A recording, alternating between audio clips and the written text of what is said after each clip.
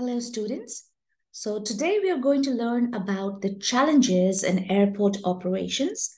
But before we move into our slides, as usual, just to set the perspective, I'll just try to give you a little bit of the gist of the entire chapter. Now, after chapter seven, we are going to go through even chapter eight. Um, chapter eight uh, basically deals with um, you know the future of aviation or the future of the airports and the airlines sector. So well what do you think are the challenges in airport operations? Just without even we going uh, through the details or even without we going through the slides just i want you to think about this. Just imagine the situation. Just think about this. Um, what could be the challenges in airport operations now, we all know that challenges are part of life, it is inevitable. So, likewise, even the airports face certain challenges because, you know, everything is uncertain in the world. So, obviously, you know, in the airports are faced with certain challenges, certain uncertainties. Normally, of course, the greatest uncertainty is capital or funding of uh, airports or you know when they run out of uh, funds or they're not able to meet the expenses. So this is one of uh, the challenge that any sector or any organization any business or even a family could face running out of funds. It is but obvious. And uh, and, uh, yes uh, Mohammed Khalif yeah welcome so uh, I just began with the lecture and I was talking about the challenges in airport operation. Yeah. I was talking about the challenges in airport operations, and I said that challenges are just reiterating for you. Challenges are but inevitable, it is just part of life, and challenges are, I mean, you could face it uh, even on a personal front be it business or personal life, challenges are inevitable. So, without even me going through the slides, I just wanted to set the perspective and I just want to ask you a question. What do you think are the challenges in airport operations?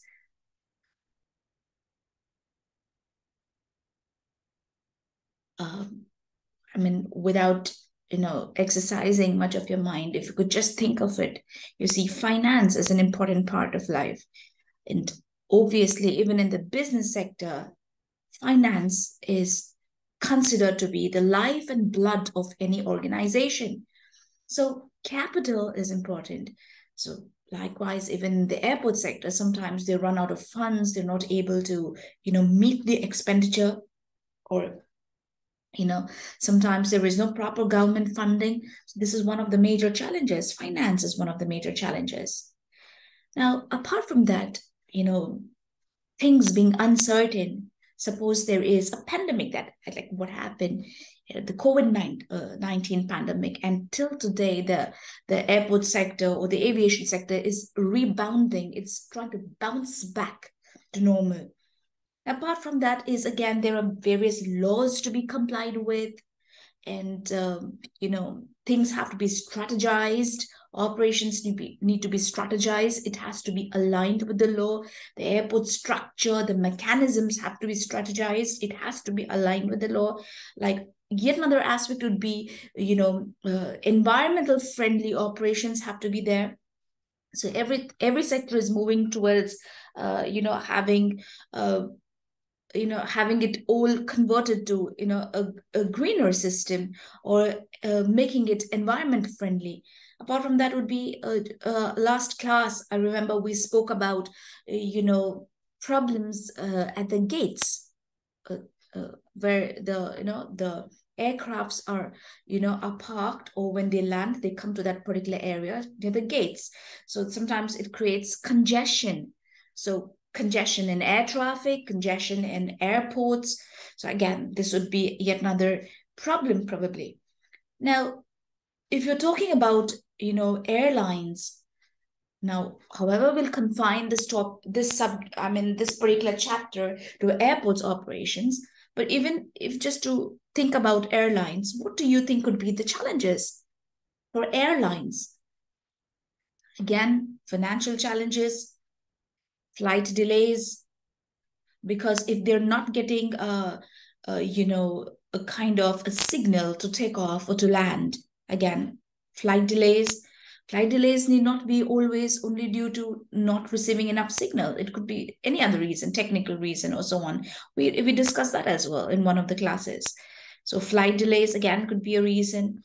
Then sometimes uh, you know conveyor belts, sometimes you know posing problems with the baggage. Then again, uh, you know passenger waiting times and passenger or you know customer feedback, passenger complaints. You know dealing with different types of people, different types of passengers.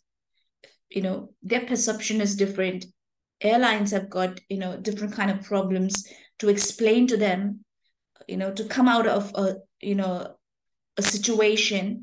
So all these are kind of um, the problems or the challenges that could hit even the airlines. So as a whole if you would see as a whole if, if you could see again apart from the other factors that we have discussed about airport operations as well as uh, you know uh, airlines what do you think could be the solution for these things? Just for you to think about this.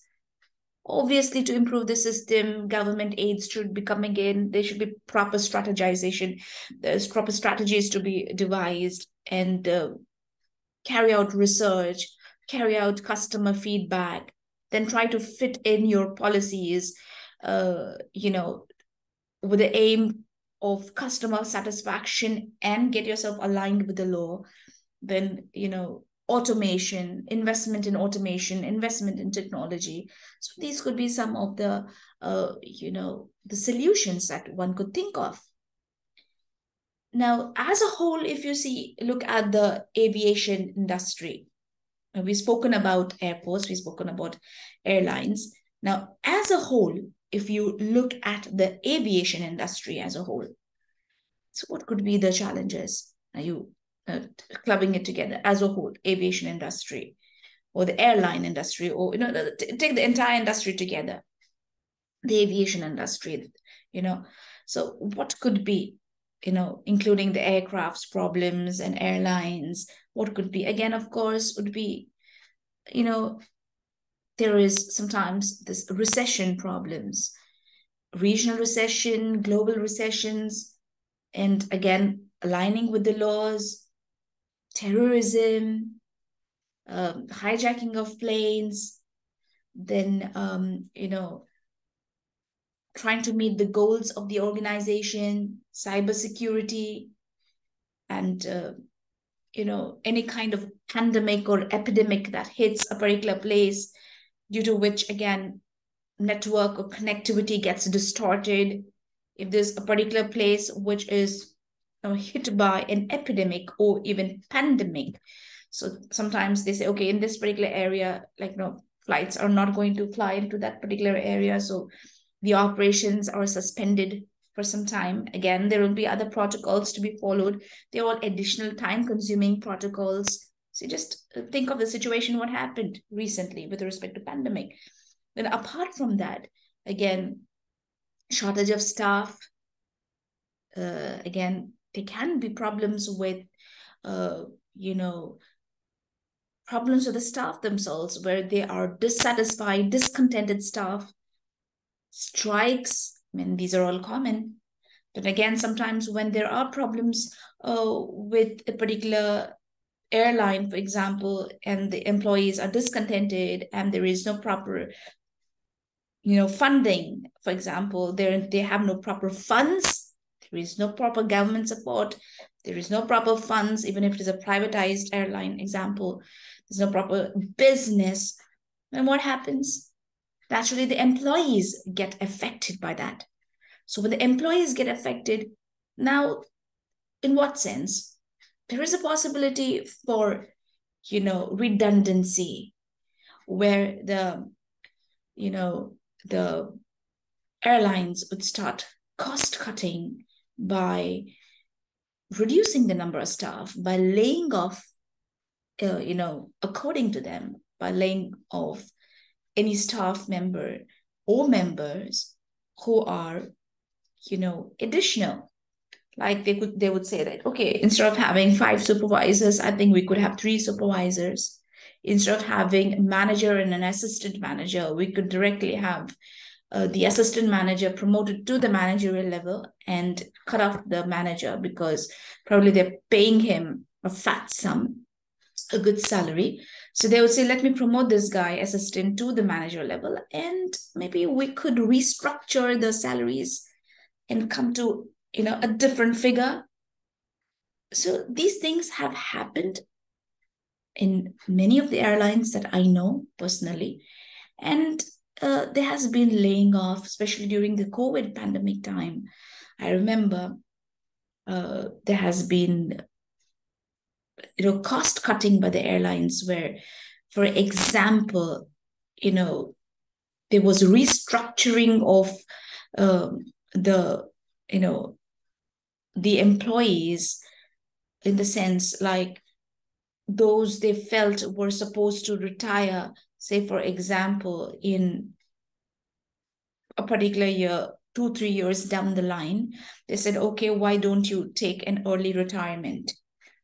Or some of them who were like you know additional staff they said okay we'll not be able to afford you for some time so it happened to many airlines without me, you know, even taking the names of these airlines. But okay, well, it was in the newspapers. So, for example, Emirates Airlines did that. Okay, Emirates Airlines did that. Uh, we are just at the just a moment. Okay, I received a message. Well, um, Abdinur, uh, we are still at the introduction stage okay? And i'm sure you can see the screen which says challenges in airport operations. Okay? Yeah yeah yeah. Okay. So well so where was i? So i was talking about example i was giving you was of emirates airlines. Now emirates airlines uh you know uh cut their staff and there was laying off they did cost cutting. They, they, there were many employees who were laid off. There were many employees who were asked to, you know, take an earlier retirement because if their retirement was already due for, you know, a year down the line or two years down the line, then there was Etihad Airways, that is official airways of Abu Dhabi. Even they were, you know, forced to literally forced to go on a cost cutting campaign by laying off certain employees. And there were many many many uh, people who lost their jobs. And it's the aviation sector which was actually worst hit. Now apart from that of course there were there every sector which was actually hit business sectors. I mean most of the businesses were hit most of it because it was a pandemic. There were many people who lost their jobs and so on. But there was aviation sector, which was worst hit. Even there were projects that I know what which had come to a standstill. Airports weren't running. Projects were held up because there was no flow of uh, funds, no flow of cash. So you know the projects were held. So well, so these are some of the challenges of the aviation sector. We spoke about the airports, we spoke about airlines, and of course, aircrafts. Talking about aircrafts, now, you know, low budgeted airlines or low budgeted aircrafts sometimes are used by low budgeted airlines. And I mean, that's a kind of a strategy that is used for people, uh, you know, who are not able to afford a particular type of uh, kind of airline or you know they're not able to afford the the the costs the fare.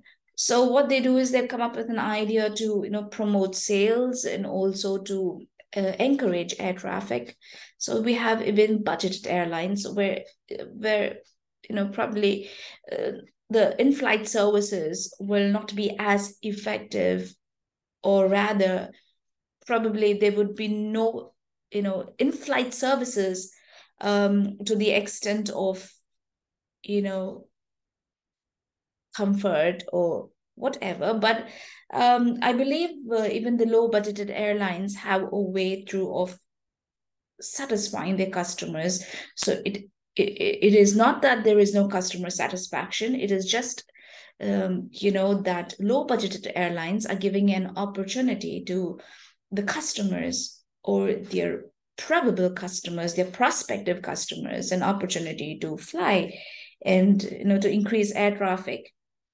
The only difference is that the type of uh, services that would be available in the the, the norm by the normal airlines or the, by the normal aircrafts or the non-budgeted uh, services which are there would not be available in the budgeting scheme well now having set the perspective now let us go through our slides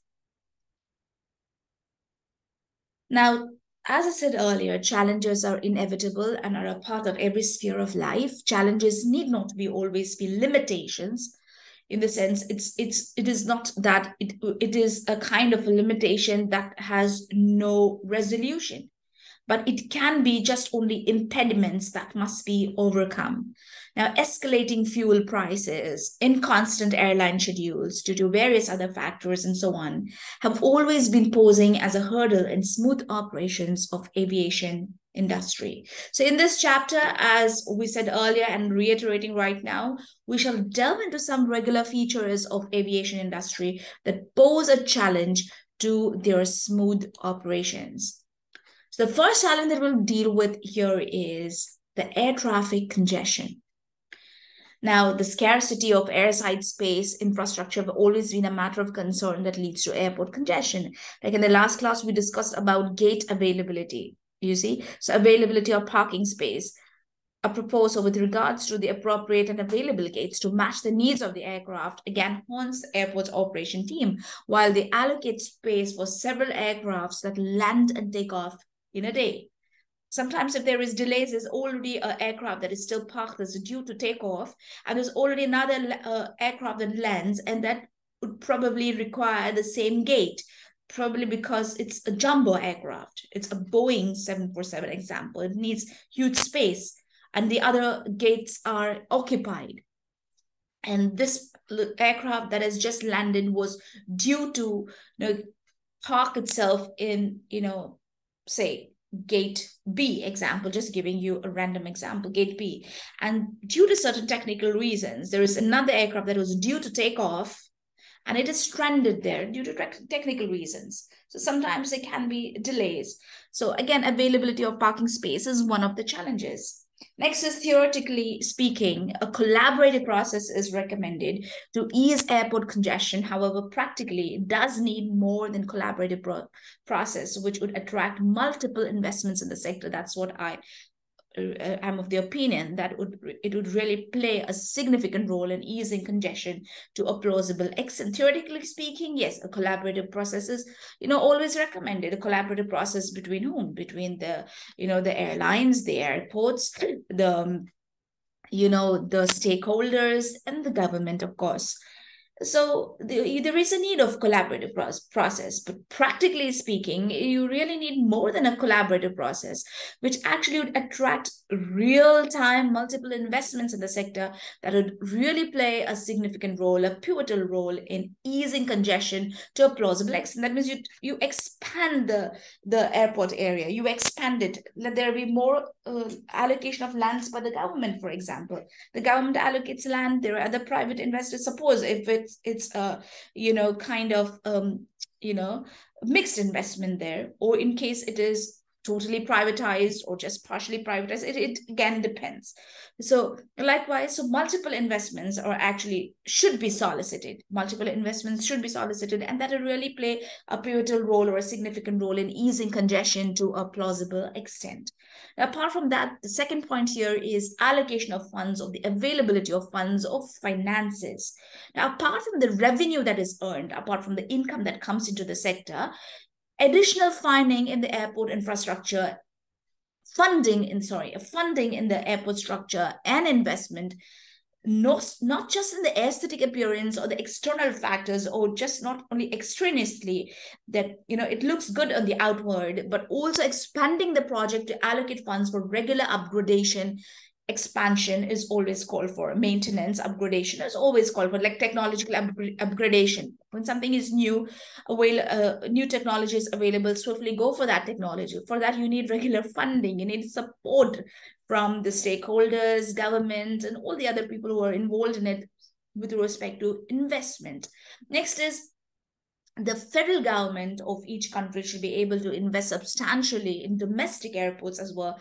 That is, a domestic airports infrastructure as well. That will, in the sense that the central governments of any country should also be able to uh, invest substantially not just a small percentage, but substantially in domestic airport infrastructure as well, because it it has to be um, you know with the the the state government and the federal government join hands together to you know promote infrastructure in a particular place. Next is the fuel prices. Fuel prices have always been increasing. It has always been a matter of concern but at times a big bank policy is better targeted towards the optimum utilization of resources available and made available. Resources that are already available and that has to be made available. So, politically motivated and wishful thinking should be avoided in devising fuel policies vis a vis econometrics. Now, a pragmatic approach by the government that would certainly go a long way in curbing this problem would, you know, would really be helpful. So, uh, there has to be a pragmatic approach by the government in this area.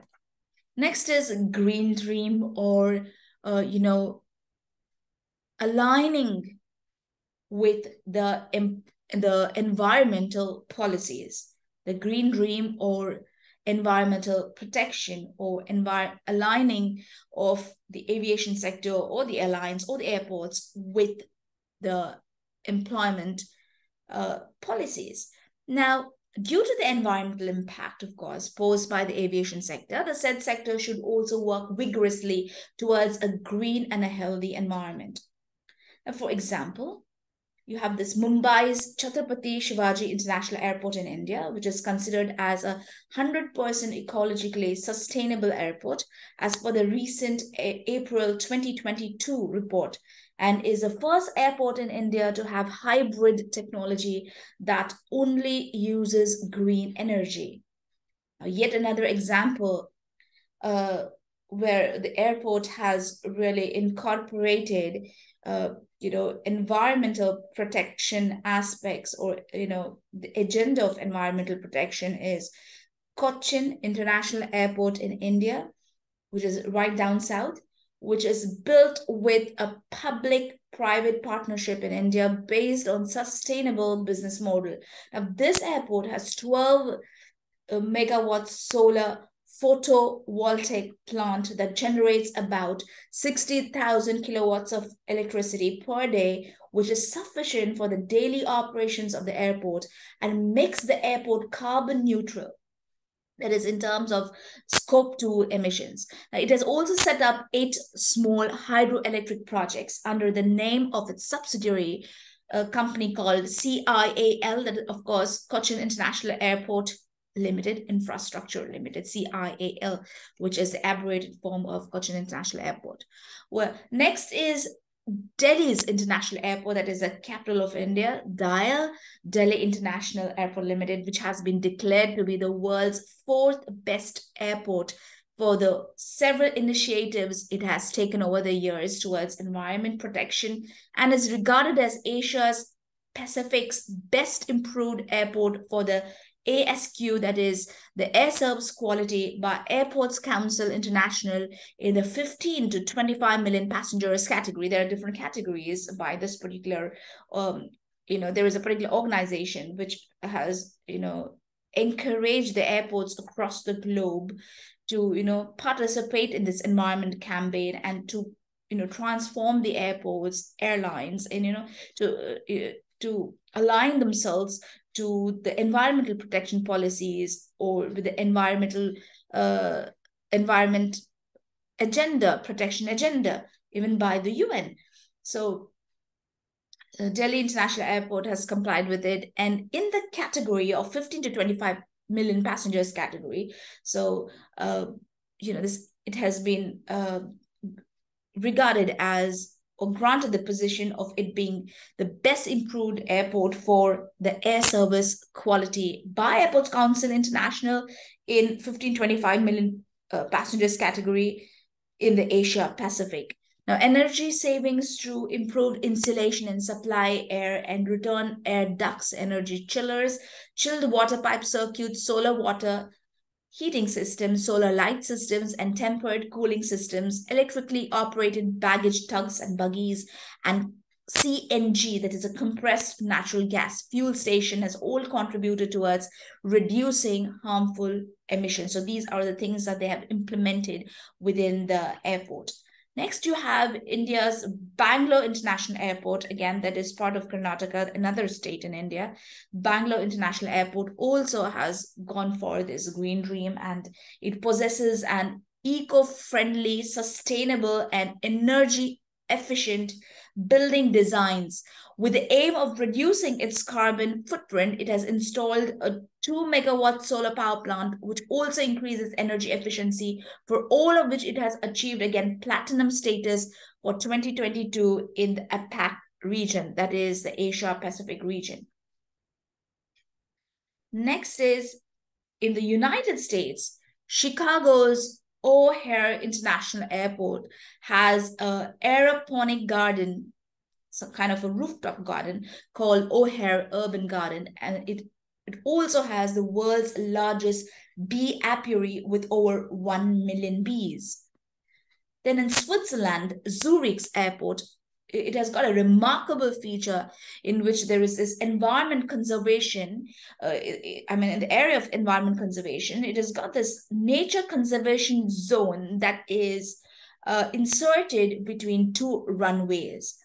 Next is in Munich airport in Germany that has installed energy serving lighting and reinforced green landscaping.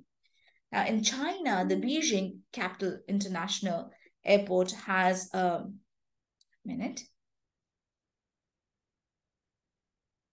has a green prefabricated building and has achieved silver status in APAC in the category of 50 million plus passengers. And even Hong Kong has uh, got a particular, you know, status. I'm not sure. You can just check up. Even Hong Kong has achieved a particular status for its contribution uh, towards the environment and incorporating environmental norms into their airport systems. So the Green Airports recognition run by the ACI, the Asia Pacific, is again an excellent initiative inspiring airports to share best practices, practice initiatives across the region and awarding or granting them recognition, thus encouraging them to perform better.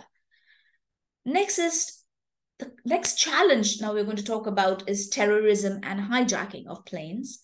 Terrorism is yet another challenge that is faced at times. Technological upgradation, improvements that help aircraft tracking, and the allied have been worked upon and implemented. Again, yet another would be unforeseen challenges in the form of epidemics, pandemics.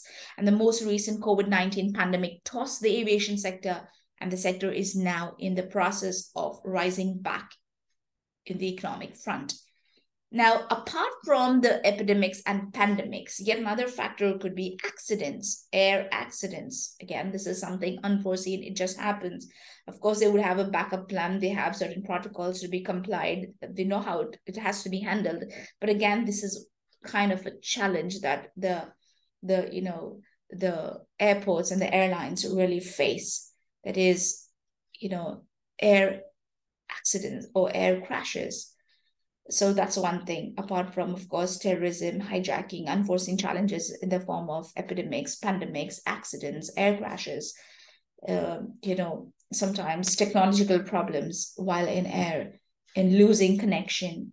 And of course, you've heard of the Bermuda Triangle. Sometimes when you cross over, you know, till now they're researching why is that when a flight or plane, you know, passes through the Bermuda Triangle, it, you know, it goes missing. You can just find out more on that and research on that. Again, it's technological glitches. Since airport systems are predominantly run by software in modern times, that is in today, currently, technological and software glitches can pose a major problem and impede or obstruct or obfuscate the operation process. Next is recession. Global and or regional recession can be an impeding factor or an obfuscating factor or an impediment for the aviation industry, recession, global or regional. So it could be, again, an impeding factor. So do you have any questions? If not, we'll go to the next chapter. Again, it's a small chapter as well, an easy chapter, but I want you to know here that for your examination point of view, open your ears and listen to me. This is a very important topic, both the topics. Do not expect that only one question would come because normally challenges, though there are two distinct chapters, but still challenges and future of aviation industry, you could expect it to come for you as a clubbed question. There is a possibility because this is an important question. This is like we're learning about the challenges, which is an important aspect, and what is the future so you'll have to go to different reports apart from the notes that are given to you and, you know, add on some points and then write your best for the exams if it comes for your exams. However, I would like to reiterate the chapters we are dealing with today is very, very important. I mean, I'm stressing with very, very, it's a hyperbole, but still, it's important for your exams. I mean, this is this could be there because it's an important question. Well, so the future of aviation industry, airlines, and airports. In case we get disconnected, please join back.